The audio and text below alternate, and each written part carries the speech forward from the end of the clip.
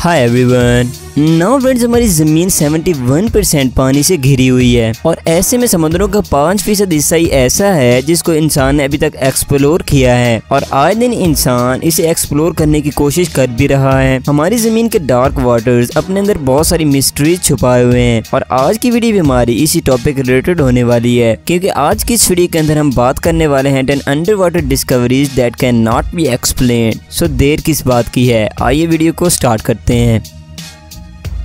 दियानोगानी monument friends ये जो discovery है, ये योनोगानी जापान के अंदर मौजूद है, जो कि पूरी दुनिया में हैमर हेड शार्क स्कूल की वजह से फ़ेमस है। लेकिन 1987 में एक लोकल स्कूबा डाइविंग इंस्ट्रक्टर और यूनागांची टूरिज़्म एसोसिएशन के डायरेक्टर कियाचिरो आराटाकी ने यहाँ पर एक डिस्कवरी की, जो कि शार्क से कई ज़्यादा इंटरेस्टिंग है। ये मॉन्यूमेंट मोस्टली मर्ड स्टोन और सैंड स्टोन से बना हुआ है। ये एक किस्म के बड़े पत्थर की सिल मालूम होता है, जो कि 500 फीट लंबा और 130 फीट चौड़ा है और इसकी ऊंचाई 90 फीट है। ये कम गहरे पानी यानी 16 फीट की गहराई तक ही पाया जाता है। कुछ लोग ये ख्याल करते हैं कि इन रॉक्स का बनना एक नेचुरल प्रोसेस है। लेकिन कुछ लोग जिनमें साइंटिस्ट भी आते हैं, वो कहते हैं कि इसकी फॉर्मेशन के अंदर बहुत सीक्रेट डिटेल्स मौजूद हैं, जिस पर इन्हें अभी काम करना है। और यहाँ पर सबसे इंटरेस्टिंग चीज़ ये है कि इसके ऊपर स्टार शेप स्ट्रक्चर्स बनी हुई हैं। इसे जैपनीज अटलांटिस के नाम से भी पुकारा जाता है, जिसकी एक्सप्लोरेशन कंटिन्यू है। और ये टाइम पर डिपेंड करता है कि कब ये जगह अपना सीक्रेट रिवील करती है। Symbols on the sea floor समंदरों की गहराइयाँ अपने अंदर बहुत सारे राज समाये हुए हैं। और आप ये भी जानते ही हैं कि समंदर हमारी ज़मीन का 70 परसेंट घेरते हैं। और ऐसे में साइंसदान अभी तक पाँच फ़ीसद ओशन को एक्सप्लोर कर सके हैं। मरीन बायोलॉजी और आर्कियोलॉजी में बहुत सारी डिस्कवरीज हो रही हैं। मिसाल के तौर पर नेपल्स में मौजूद इन स्ट्रेंज पैटर्न को ही ले लें, जो कि नेपल्स कोस्ट इटली में मौजूद है। ये पैटर्न वाकई हैरान कर देने वाले हैं। और ऐसे लगता है की इनके अंदर भी बहुत सारे सीक्रेट मौजूद है। ये डिज़ाइन रोमन बाथ हाउस के फ्लोर की इंडिकेशन करते हैं। बाई रिजॉर्ट जो कि रोम का पुराना कस्बा था, उसमें ये वंडर मौजूद है। इसे वन ए डी यानी वर्ल्ड वॉर टू के दौर में खोजा गया था। ये अपने वक्त की सोसाइटी का हाई क्लास पोर्शन था, जो कि किसी वजह से समंदर में घर खो गया। और साइंटिस्ट आज इसे एक्सप्लोर करने में लगे हुए हैं। देखते हैं कि आने वाले वक्त में इससे क्या क्या मालूम हासिल होंगी।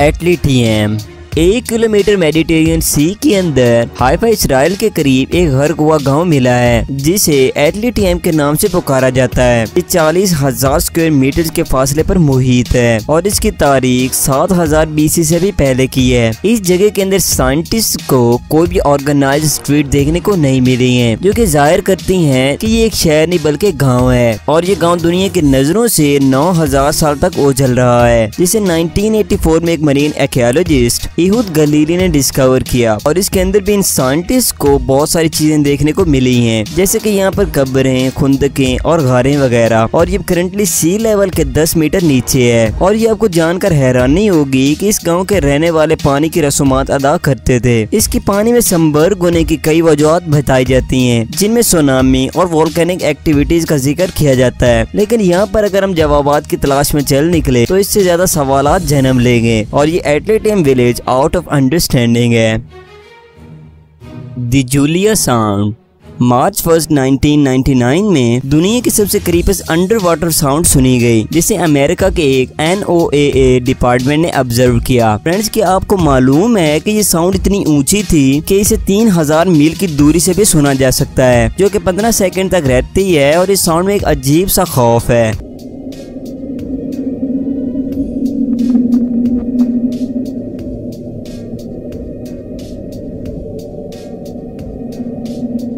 बहुत सारे साइंटिस्ट ये ख्याल करते हैं कि ये साउंड अंटार्कटिक आइसबर्ग के पानी में शामिल होने की वजह से होती है। लेकिन कुछ साइंटिस्ट इससे डिनायल हैं और इसकी एक्सप्लेनेशन किसी के पास भी मौजूद नहीं है। इस साउंड को रिकॉर्ड करते वक्त नासा से एक बहुत बड़ी गलती हो गई, क्योंकि ये साउंड जिसे प्रोड्यूस हो रही थी, वो इसकी पिक्चर्स को कैप्चर नहीं कर सके। वेल ये साउंड किसी ऐसी चीज़ की हो सकती है जो कि एम्पायर स्टेट बिल्डिंग से भी दो गुना बड़ी हो सकती है। दिबिमिनी रोड 1968 में नॉर्थ पिमिनी आइलैंड बहामास के साइल पर एक डाइवर ने पानी के अंदर एक अनबिलीवेबल चीज़ देखी, जो कि 18 पत्थर थे और इन्हें एक सीरीज़ में जोड़ा गया था। ये ऐसे लगते थे जैसे इन्हें इंसानों ने जोड़ा हो। लेकिन बाद में इन रॉक्स की कार्बन डेटिंग से पता चला है कि ये नेचुरल जियोलॉजिकल फोर्सेज के तहत ऐसी शक्ल तश्कील पा गए, क्योंकि इनके ऊपर किसी भी चीज़ के निशानात नहीं देखे गए। फिर आप सोच रहे होंगे, इसमें नया क्या है? ये स्टोन इसलिए इतने इम्पोर्टेंट है की ये लॉस्ट सिटी ऑफ़ अटलांटिस के बारे में साइंसदानों को बहुत सारी इन्फॉर्मेशन दे चुके हैं, लेकिन अटलांटिस का मैटर बहुत कम्प्लेक्स है, जिसे इन स्टोन से सॉल्व तो नहीं किया जा सकता, लेकिन फिर भी ये बहुत यूनिक इन्फॉर्मेशन दे चुके हैं, इसलिए ये इतने इम्पोर्टेंट है। एलोंगेटेड skulls जनवरी 2014 में मैक्सिको के अंदर एक ऐसी डिस्कवरी हुई जिसने सबको हिला कर रख दिया, और स्पेशली लोकल विलेजर्स को। यहाँ पर एक सिंक होल में अंडर वाटर आर्कियोलॉजिस्ट ने वेड ह्यूमन स्कल्स और बोन्स देखी। इस अंडर वाटर कैवर्न को सेकलियोम के नाम से भी पुकारा जाता है। पहले दिन से ही यहाँ के आर्कियोलॉजिस्ट को शक था कि विलेजर्स इस सिंक होल के पास क्यों नहीं जाते। इसके पीछे को सीरियस रीजन भी हो सकती थी, इसलिए आर्कियोलॉजिस्ट ने सिंक होल को एक्सप्लोर करने का बेड़ा उठाया। और इन बोन्स और स्कल्स को वहाँ पर पड़े पड़े सेंचुरीज भी हो सकती हैं। और ये एक मिथ भी हो सकता है। और इस सिंक होल के अंदर एक दर्जन से ज़्यादा इंसान अपनी जान की बाजी हार गए। ये बोन्स और स्कल्स अपनी डेथ की कोई भी एक्सप्लेनेशन पेश नहीं करती। और इनकी डेथ एक ऐसा सवाल है जो कि आर्कियोलॉजिस्ट की सरदर्दी भी है और इनकी क्यूरियोसिटी भी। वेल मे बी कि आने वाले दिनों में इनकी डेथ की रीजन सामने आ जाए। लेकिन अभी तक इनकी कोई भी साइंटिफिक एक्सप्लेनेशन मौजूद नहीं है।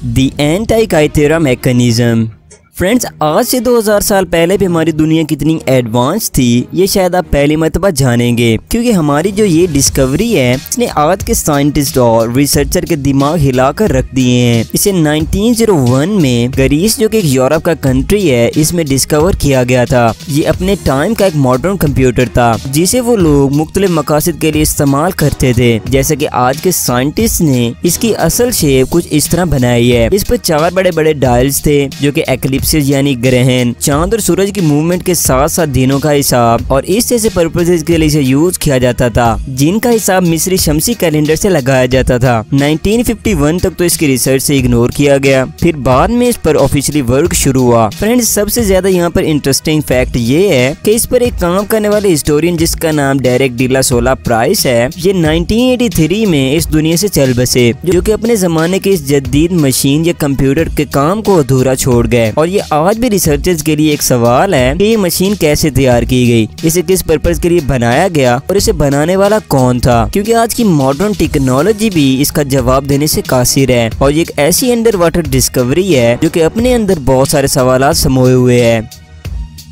The under water structure of जैकेंथोस ये जो डिस्कवरी है, ये भी ग्रीस में वकू पजीर हुई थी। इसे एक किस्म का अंडर वाटर सिटी माना जाता है, जिसमें कभी बड़ी बड़ी बिल्डिंग्स हुआ करती थी, लेकिन अब वो टूट फूट का शिकार हो चुकी हैं। इनमें से हर स्ट्रक्चर का डायमीटर तकरीबन 30 सेंटीमीटर है। इन स्ट्रक्चर पर भी बहस तमीज जारी है की आया ये इंसान के बनाए हुए हैं, या ये नेचुरल प्रोसेस से बने हैं। लेकिन यहाँ पर सबसे एक इंटरेस्टिंग चीज़ की ये गोल गोल से जो स्ट्रक्चर है साइंटिस्ट इन्हें भी मैन मेड नहीं मानते। और उनकी यही स्टेटमेंट है कि ये नेचुरल प्रोसेस से गुजर कर बने हैं। नेचुरल या मैन मेड एक्सपर्ट इसका जवाब देने से कासिर हैं। और इसी के साथ ही अंडर वाटर डिस्कवरी हमारी आज की इस वीडियो के अनएक्सप्लेन डिस्कवरीज की लिस्ट में आ जाती है। The statue of Christ friends अब इस अढ़ाई मीटर ऊँचे स्टैचू को भी देख लें जो कि जेसुस क्राइस्ट का स्टैचू है, जिसकी सी लेवल से डेप्थ सिर्फ़ 17 मीटर्स है। हैरान कन तौर पर स्टैचू कम्प्लीटली एलजी से भर चुका है, लेकिन फिर भी इसे पहचानना कोई खास मुश्किल काम नहीं है। इस स्टैचू को एक पर्पज के लिए यहाँ पर बाईस अगस्त उन्नीस में लाया गया था। एक ड्राइवर जिसका नाम डवेलो मर्चेंट था, उसके दोस्त की यहाँ पर मौत वाक़ हो गई, और इसने अपने दोस्त की याद को ताज़ा करने के लिए स्टैचू को यहाँ पर लाकर रख दिया। ये जगह भी अंडर वाटर सी डाइवर्स के विज़िट का मामूल बनी हुई है। द लॉयज सिटी आपने यकीन लॉस सिटी ऑफ़ एटलांटिस के बारे में सुन ही रखा होगा। वेल well, अगर कुछ लोग नहीं जानते तो उनकी इन्फॉर्मेशन के लिए ये समंदर में घर कुआ एक पूरा का पूरा शहर है। कुछ लोग ख्याल करते हैं कि ये एक मिर्ज या झूठ है लेकिन बाज लोग आज भी इस बात को मानते हैं। The lost city of Atlantis हमारी ज़मीन पर कोई ऐसा पहला शहर नहीं है जो की घर कुआ है बल्कि और भी बहुत सारे मौजूद है। उन्हीं में से एक लाइन सिटी के बारे में हम बात कर रहे हैं जो की चाइना में मौजूद है और अपने अंदर पुरसराइत की एक लंबी दास्तान समोए हुए है। और इस एंशियन इंस्टॉलेशन की तारीख 1300 साल पुरानी है, जबकि सिटी के संबर्ग होने का वाक़ 1959 में पेश आया, जहाँ पर Chinese government hydro electric power लगाने को सोच रही थी। और इसी वजह से 573 स्क्वायर किलोमीटर की एक लेक वजूद में आ गई, जिसे थाउज़ेंड एयरलैंड लेक कहा जाता है। और इस वजह से दो लाख नब्बे हज़ार लोगों को इस शहर से बेदखल होना पड़ा। और ये जगह आज पूरी दुनिया के डाइवर्स की तवज्जो का मरकज बनी हुई है, क्योंकि ये शहर समंदर की सतह से 240 मीटर नीचे ही है। इस शहर का टोटल एरिया बासठ फुटबॉल फ़ील्ड के बराबर का है। Hey, you still there? Good friends आज की इस वीडियो में सिर्फ़ इतना ही। उम्मीद करता हूँ वीडियो आपको पसंद आई होगी। अगर आपने वीडियो को एंजॉय किया तो इस वीडियो को दीजिए एक बड़ा सा थम्स अप और चैनल को सब्सक्राइब करें ऐसी वीडियोस देखने के लिए क्योंकि मैं आपके लिए ऐसे इंटरेस्टिंग इन्फॉर्मेटिव और इंटरटेनिंग वीडियोस लेकर हाजिर होता रहूँगा। मिलते हैं नेक्स्ट ऐसी इंटरेस्टिंग वीडियो के साथ। Thanks for watching this video Allah Hafiz.